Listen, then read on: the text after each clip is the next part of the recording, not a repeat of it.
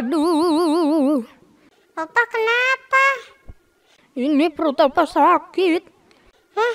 Opa hamil lagi ya? Hah, bukan, opa habis makan bakso satu gerobak tadi. Eh,